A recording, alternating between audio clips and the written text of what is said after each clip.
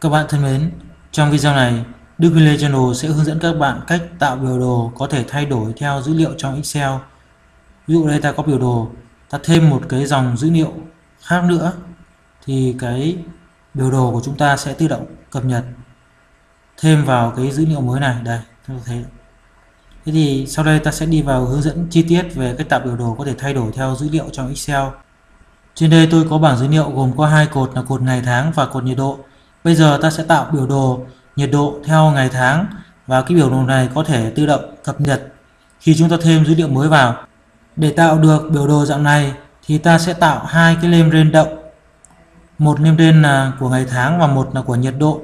Khi chúng ta thay đổi hoặc cập nhật dữ liệu mới vào thì cái vùng dữ liệu của ngày tháng và nhiệt độ cũng sẽ thay đổi theo. Thế thì để tạo các cái lem rên động ta sẽ làm như sau. Các bạn kích vào thẻ Formula trong phần Define Name, các bạn kích vào chọn Define Name đây. Cửa sổ hiện lên ở phần name, ta sẽ đặt tên cho cái name đầu tiên là ngày tháng. Thì ta sẽ đặt tên là ngày tháng, viết liền không dấu. Đây. Trong phần River to ta sẽ xóa công thức này đi và ta sẽ sử dụng hàm offset và hàm counter A để chúng ta tạo một cái vùng dữ liệu động. Ta sẽ nhập vào công thức là bằng offset. Các bạn có thể viết hoa hoặc là viết thường tùy ý các bạn. Hàm offset gồm có 5 đối số. Đối số nhất là cái ô mà chúng ta lấy làm chuẩn, tức là ô gốc. Ở đây tôi chọn là ô A1. Đối số thứ hai là số dòng tính từ ô gốc cho đến ô bắt đầu lấy dữ liệu, tức là từ ô A1 cho đến ô A2. Như vậy nó sẽ xuống dòng là một dòng. Và đối số thứ ba là số cột di chuyển. Ta vẫn lấy trong cột A do đó là ta không di chuyển là không. Đối số thứ tư là số dòng của vùng dữ liệu trả về. Thì ở đây ta sử dụng hàm counter A ta xác định cái số dòng có dứa, dữ liệu trong cột A và ta trừ đi dòng đầu tiên là dòng tiêu đề ta không tính đến. Như vậy ta sẽ nhập vào đây là counter A. Cột A thì ta sẽ kích vào một ô nào đó trong cột A và ta xóa cái chỗ đây, ta sẽ xóa cái đô một đi.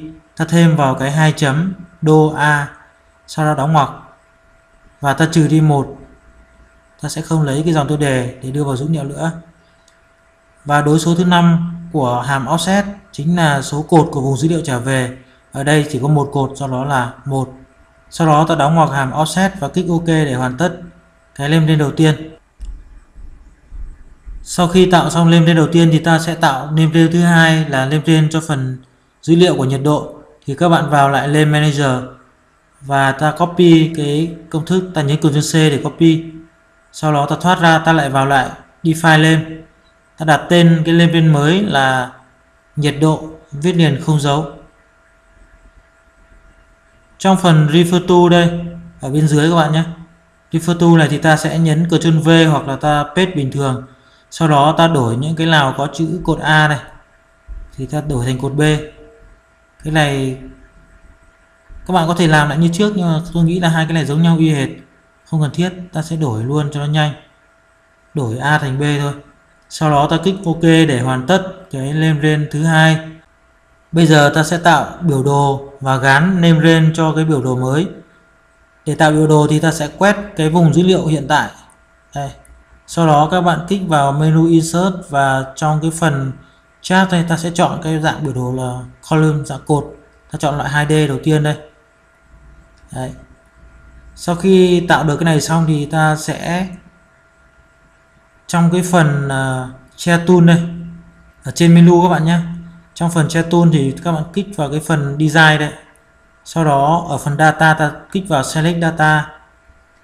Và ở cái uh, nhiệt độ ở bên dưới đây ta kích vào đây sau đó ta kích vào cái chữ edit ở bên trên nó. Đấy.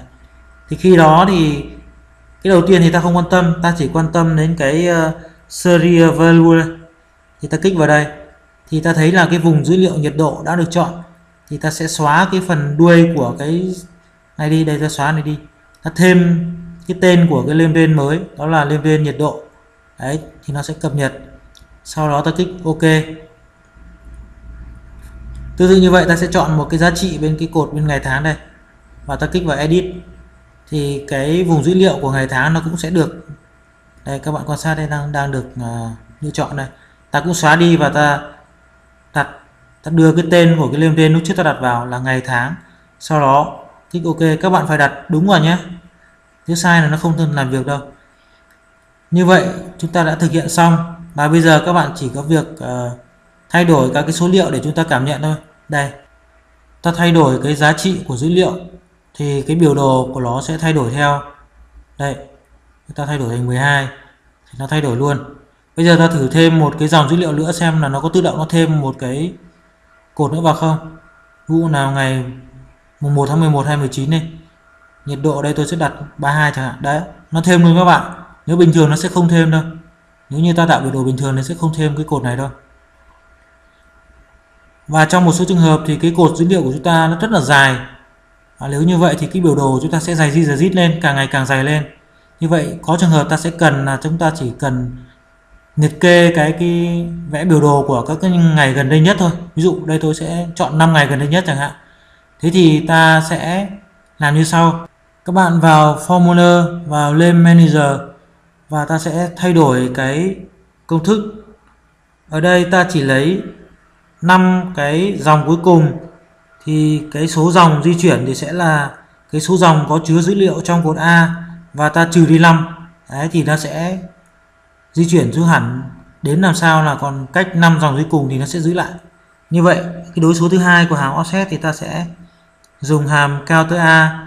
Ta đếm số dòng có chứa dữ liệu trong cột A, tức là counter A sheet 1 của cột A, cũng là 2 chấm đô A đi. Sau đó ta trừ đi 5 các bạn muốn lấy bao nhiêu cái dòng dữ liệu cuối cùng thì các bạn sẽ trừ đi bấy nhiêu. Đấy. Ví dụ đây tôi đến 5 dòng cuối cùng thôi thì sẽ là trừ đi 5 thì nó sẽ di chuyển xuống như vậy. Và ở trong cái đối số thứ tư thì cái vùng dữ liệu trả về cái số hàng ấy, số dòng ấy, thì nó chỉ còn lại là 5 dòng thôi. Đấy. Và ta sẽ kích vào cái nút này, tích này, để ta cập nhật cái lên lên tương tự như vậy, ta thay đổi cho cái phần của nhiệt độ. Ta cũng sẽ dùng hàm counter A của cột B. 2 chấm đô B. Đóng ngoặc và trừ đi 5 hai cái lên bên này thì nó phải tương ứng với nhau các bạn nhé. Số hàng bên kia trừ 5 thì cái này phải trừ 5 thì nó mới khớp được. Và ta tích sau đó kích close. Đấy, như vậy ta thấy rằng là chỉ có 5 dữ liệu thôi bây giờ ta sẽ xóa đi. Đấy, ta xóa một cái hoặc là thêm vào đều được. Thì nó sẽ đều cập nhật 5 cái dòng dữ liệu sau cùng nhất. Đây ta xóa lốt này đi chẳng hạn. Đấy, nhá. đấy các bạn thấy chưa? Thì đấy chính là cách cái tạo biểu đồ có thể thay đổi theo dữ liệu. Các bạn có thể tải file Excel này về thực hành trực tiếp trên máy bằng cách kích vào chữ hiển thị thêm bên dưới video này trong phần mô tả. Tôi có để link tải. Xin chân thành cảm ơn.